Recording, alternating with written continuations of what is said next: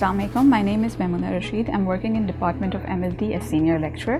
BS MLT program is four-year degree program which is recognized with HEC and they have annual system of examination. The first year curriculum is based on uh, courses which are taught from the basic sciences and uh, humanities and second year onwards courses related to the uh, field of speciality are taught. In fourth year, uh, students have to perform a research project. We have a list of supervisors uh, who have various specialities. Uh, these supervisors have multiple publications in national and international journals. Uh, we encourage our students to present their research work in various national and international conferences.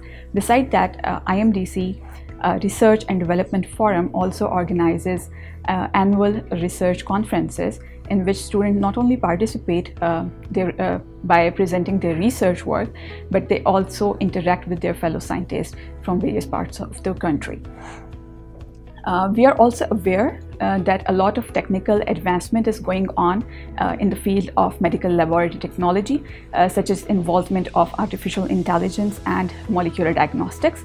Uh, so we keep on uh, organizing uh, lectures and hands-on training so that our students are um, familiar with, the, with these technologies and they are well equipped to face the future challenges.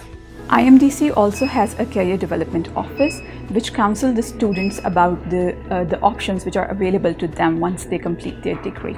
To make campus life enjoyable for the students, uh, IMDC also organizes extracurricular activities uh, by various um, clubs and societies. Uh, we have a sports club uh, Literary Society, uh, Art Society and Blood Donor Society. We encourage our students to actively participate uh, in the annual uh, and biannual activities which are organized by these societies. IMDC is committed to provide quality education, healthy campus life and interpersonal skill development. Come and join us.